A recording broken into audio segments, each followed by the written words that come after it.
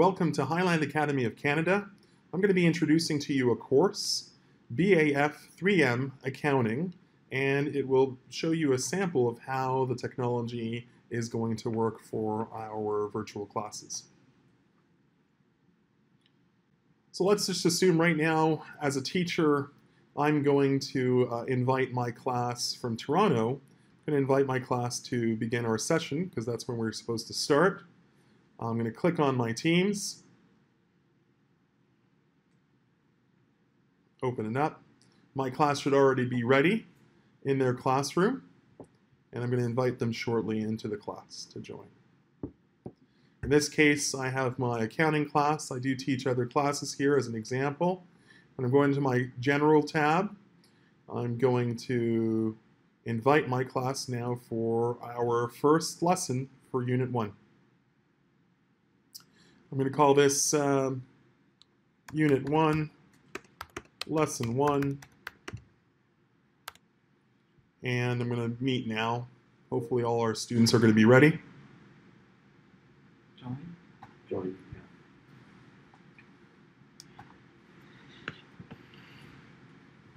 Those students who haven't come on board, I'm going to just mute all our students here.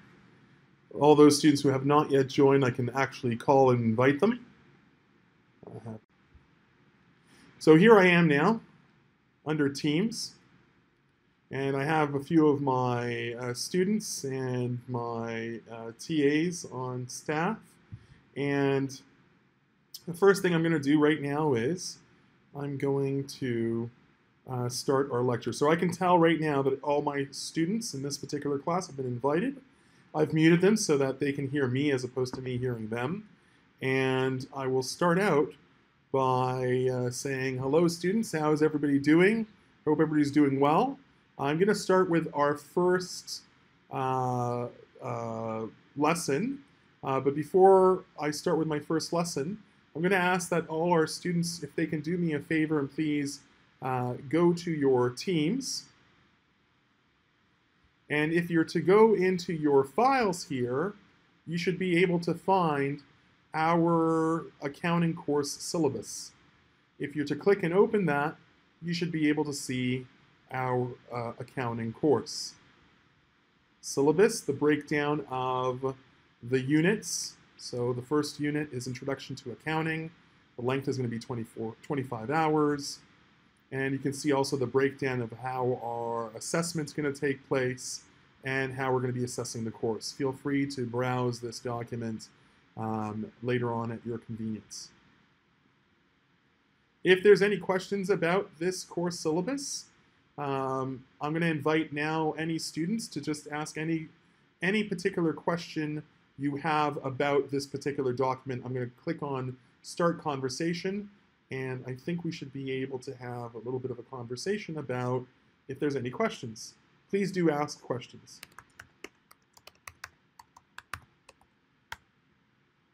And here I'm saying any questions.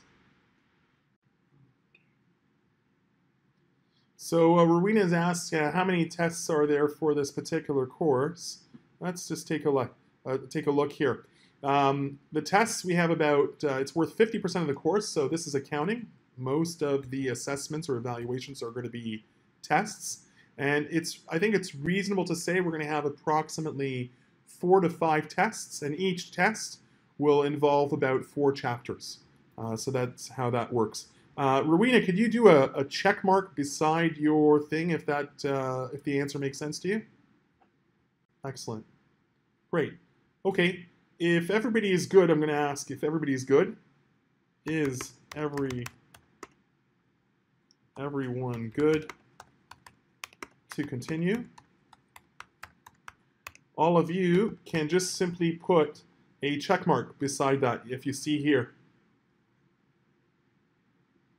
Beside the, is everyone good? I have one so far, two. I should get around four or five. Good. Okay, uh, Stuart asked the question about ISU. Uh, ISU is an independent study unit, basically a unit in which students will work uh, on their own on a particular unit within the course. Um, is that okay, Stuart?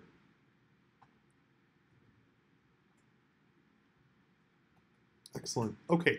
Now what I want everybody to do is let's go back into Teams. So click on your Teams. And I want you then to click on Conversations. And I want you to go to join back into our meeting. You can click on Join. I should be able to see the participants. Excellent. Okay, great. Now what I'm going to do is I'm going to share with you a PowerPoint lecture that I have for our first of two lectures that I'm going to be doing. Let's take a look. I press this over here and let me just make that to full screen. And let me browse to open up my particular file and it's in my accounting folder, and it's just a basic uh, uh, PowerPoint lecture. Let me click on the first one, and I'll go through it quickly.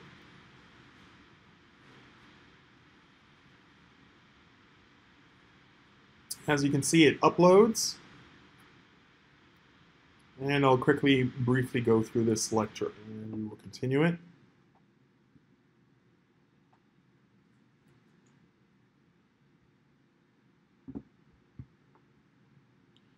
So as I was saying before with regards to accounting,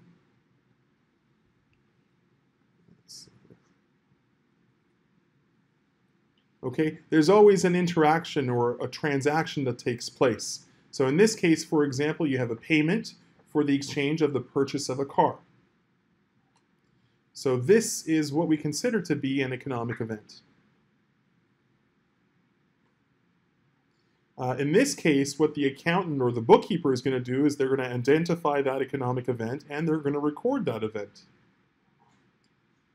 After they record it, they can, of course, report it and analyze it. Just imagine there's more uh, transactions that take place, and they're going to be able to summarize those events.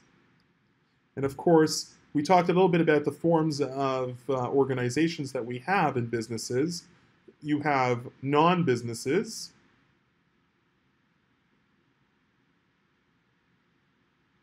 So we have the three that we talked about, a proprietorship, a partnership, and a cooperation.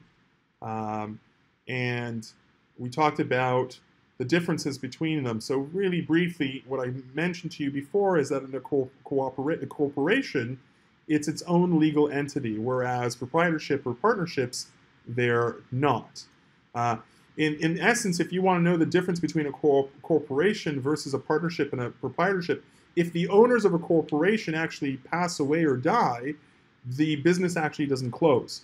What happens is whoever is assigned as their uh, people to take over the business will continue the business. So the business or the cooperation corporation actually still lives on and is allowed to remain in existence, whereas the other entities aren't. As we said before, there's all kinds of users of the accounting information. You might have internal users like the company's managers or owners, or even analysts within the company. Um, different groups or different departments within the organization might use the information, like a marketing or human resources or purchasing. Sometimes they have to work within budgets, and of course, to in order to be able to keep a track of your budgets, you have to be able to, uh, to, to, to do it that way. Okay, let me just open this up for any kind of questions so far that we have from, from the students here. Uh, any kind of questions or comments, feel free now to talk live. Go ahead. Michelle, how are you doing? Is there any questions that you have? No? Any comments? Anybody anybody have any any kind of uh, questions or issues? Black. Let me ask you this question, Black. Uh, so, which do you think is the riskiest type of business to own? A sole proprietorship, a a partnership, or a corporation? Why partnership is you think is the most risky? Um, because for partnerships, my partner, we like a pair of the friends, and we can um, talk about something very uh, close, you know, and uh, to do some uh, decision. We will uh, how to say that um, will not um, too much different suggestions, and we Mm. can do something very easy. Okay. What about William? What, what do you think? What do you think is the riskiest riskiest form of ownership? Partnership, sole proprietorship, or a cooperation corporation? Most tourist. What is the most risky? Yes, Uh, I, for the owner. Yeah. Uh, I think it's mm, sole proprietor Sole proprietorship. Why? Because uh, unlimited liability. Unlimited liability. That's a very good answer. Very good. Okay, uh, Lachelle, what do you think? Of the three, which one are the most risky?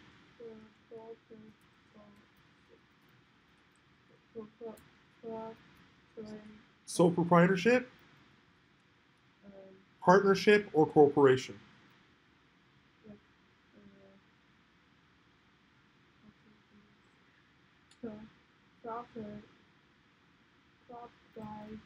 Proprietorship. Yeah. Okay.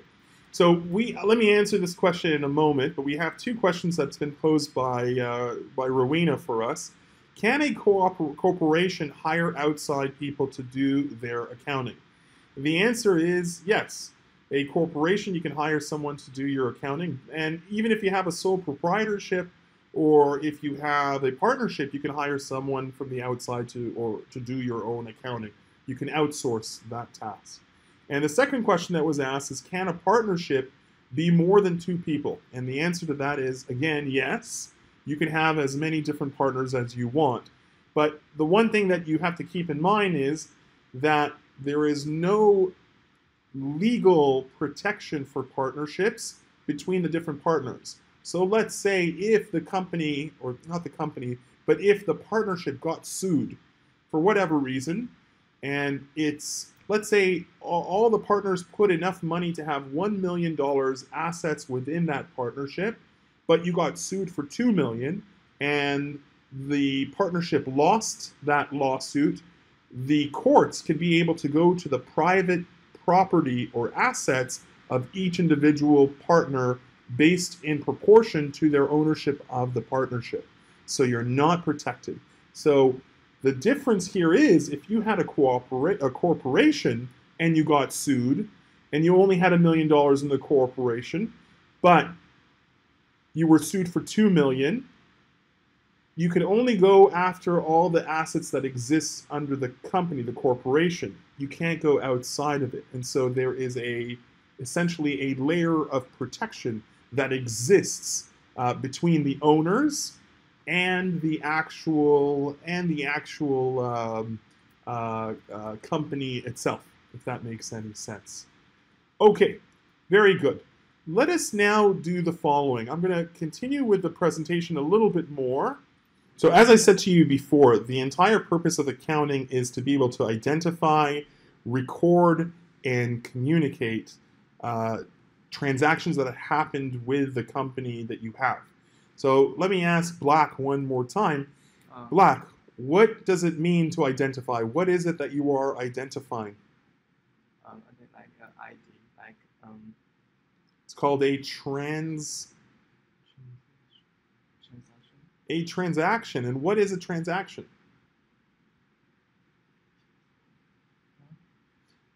Okay, let me, let, let me remind you again that a transaction is something in which you have bought something with money, Yeah. right, cash, and exchanging it for something else. So when you buy a coffee, is that a transaction?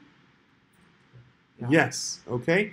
When you pay money to get coffee, that's a transaction. And where's the proof? Where's the record of that transaction happening? What do you get when you pay for a coffee usually? They'll ask you if you want it.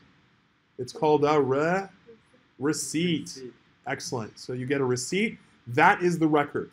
And usually, if you're buying it with a company's money and you're going to say, I want to be paid back for that coffee, what are you going to give the accountant or the bookkeeper? You're going to give them that receipt to show proof that you purchased that particular coffee. And that accountant will record that transaction in their bookkeeping. And eventually, they'll communicate that transaction and many more in other in the in the basically the bookkeeping of the company, otherwise called a general journal. Okay. Let's continue moving here very quickly. So as I said to you before, this was when someone purchases something, they have the payment, right? And something's exchanged for it. We gave the example of a coffee, but it could be a car, it could be almost anything. That's the transaction. So a couple of terms that we have to remember here are transaction, right? Recording. Um, journal is where they record that information. Okay, so we just used a couple of examples um, there. Um, okay, let's see here. Now what I want to do is I want to do a, a really quick test. Okay, so I'm going to ask all the students right now to please focus on the board and click on the Assignments tab.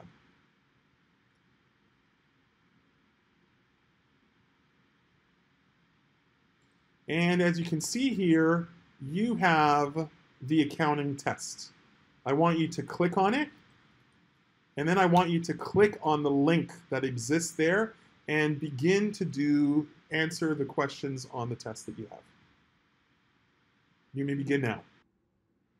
So now that we've uh, received all the test results back, let's take a look at what we have. So I'm like taking a look over here. I go into my link for the test. Here's my test. I want to see my results.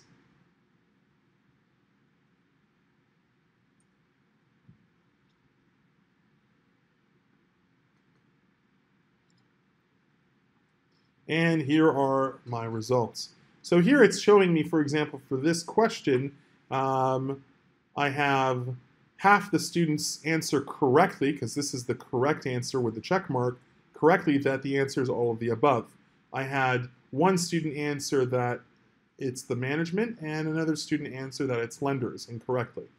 Uh, as you can see, I can publish this, I can give this back to my students, and I even have the option of opening this up in Excel to be able to tabulate the information if I wanted to use it for future uh, referencing or recording the answers uh, that the students have actually done.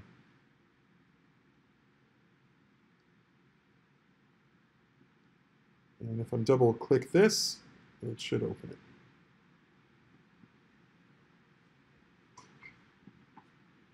As you can see, it indicates the start time when the student completed the test, uh, their email, uh, the name of the students, the total points that they got, maybe any kind of quiz feedback if I wanted to give it, and the answers that they gave to each particular question. So there's um, uh, information that's provided, which is very, very useful. So that uh, essentially uh, concludes uh, this part of the sample course for accounting. I hope that you had a good introduction to it. And uh, if you have any uh, follow-up questions, please don't hesitate to contact the necessary person in Highland Academy of Canada. It's been a pleasure being with you. Thank you, class. Thank you, everyone. Take care.